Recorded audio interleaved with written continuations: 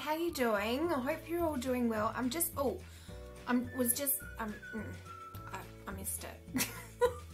I was just showing you there um, because I thought I had turned on the camera, but I hadn't. You know, concept Justine, you need to press record to actually, you know, record a video. It's just a little bit of a technical important.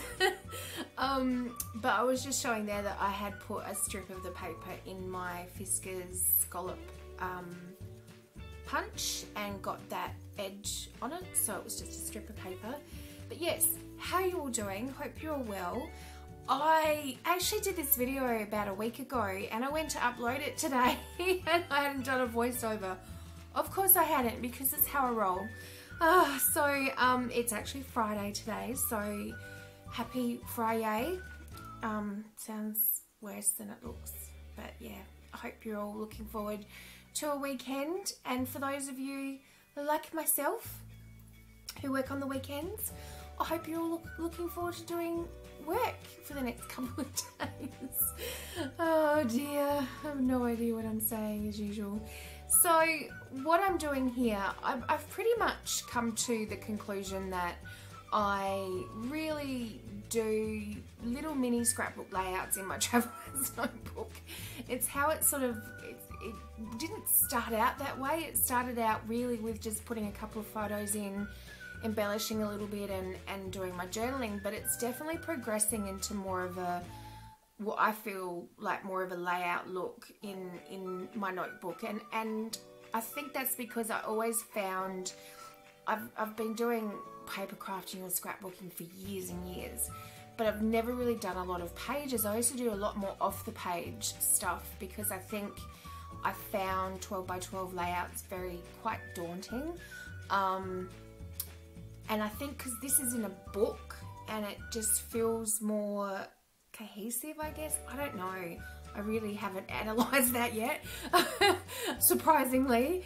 Um, but I think just for me, it's it's a smaller space. It's less daunting, but it definitely has that kind of layout feel to it. And um, I just do pretty much a little scrapbook layout and then add some journaling, and that's it. So if any of you struggle with 12 by 12 or even you know 8 and a half by 11 or something and want to go smaller try doing it try getting a little layout look in a traveler's notebook. It, it works and it's it's great. You do have to um, watch the thickness of your embellishments and things like that a little bit. I just cut down those papers. Um, I know a few people will do it to save the paper. I was doing it more to actually um, cut down the bulk um, and things like paper clips and stuff are really good because they're not um, bulky as well and you just you just kind of learn what works and what doesn't. I still use chipboard pieces and stuff like that but I tend to pull a few layers of the chipboard backing off um, to make it thinner so just little things like that but um, I'm really enjoying and, and this purely just came about I was doing a bit of a clean up I'm going through that big sort of let's just tidy up and get everything in its spot um, and do a bit of a cull time of life at the moment and probably start the new year stuff. Um, and I came across these photos which were taken by my niece. She's not a photographer but she does photography and loves it. And she's got a natural talent for it and she took these photos of my daughter a couple of years ago and I came across them and I love them. I thought I need to put these in my notebook. So I felt like this photo went really well. One, it's one of my favourites and so I just wanted to do a little, and the Nigella, the Nigella page, the Nigella, sorry, the Nigella. I get so excited and my words don't match up with my brain. Um, the Nigella kit is so versatile. I've got, I feel like I've got so many different looks out of this one kit. Um, it's just fantastic. It's probably up there with one of my favourite kits so far.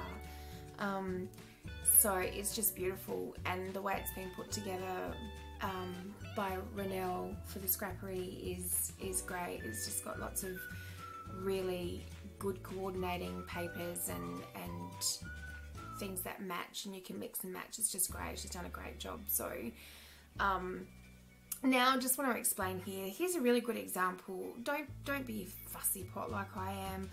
I don't even know why I did this. I sometimes when I come back and do my voiceovers I think why why Justine? Why would you even think of doing that? I don't know because where I was at at the time. And I think I do kind of go into another place when I'm doing these these uh, pages and I kind of just zone out a bit and don't make really um, kind of, I don't know, I make weird decisions like this where there was a tiny little bit of the leaf sticking out I was like, oh, I don't like that. I need to scrape it off. And then I end up and go cover it with, with a piece of paper. So it was totally redundant and totally silly. So there you go. And I've got it all recorded for, for it to be watched um, but yeah, these rub-ons, they're so, you probably saw that, it was so easy to put on and so easy to use. And um, I really um, have loved using them and I want more. more of the rub-ons. Um, so yeah, so I I know the kits are still available. Um, the new kits are coming out soon, so get them while you can um, if you haven't already got one. You'll just find um, that you'll get so many different looks and there's so many, it's so versatile and you, I've actually just done some of the leftover bits I've actually, oh and this washi, get the kit, get the kit just for this washi, just for the washi. This thin washi is so gorgeous. Um, but I've just done a planner layout with the kit as well. It's so versatile, you can do anything with it. So um, I really enjoyed playing with it. So, um, and that pink butterfly, oh, it's just gorgeous. And of course, here is the watercolor. We wouldn't have a traveler's notebook cover or a traveler's notebook page, I should say. I just got distracted, I could hear I think my husband's home and he doesn't know I'm doing a voiceover, so hopefully he's worked it out and he's walking away from the door. Um, yeah, so it wouldn't be um, a traveler's notebook page without me using watercolor, I don't think. So, um, and then I just do a little bit of journaling here. I don't even, I just, I just found this really um, pretty saying and I wanted to write it down. I just thought it was really sweet and matched the photos. So I hope you've enjoyed. I hope it's given you some ideas and inspired you a little bit to maybe try something a bit different or do something a bit different in your traveler's notebook or on a page or something. And I will see you all next week and enjoy. And thanks for watching and have a great weekend. Bye.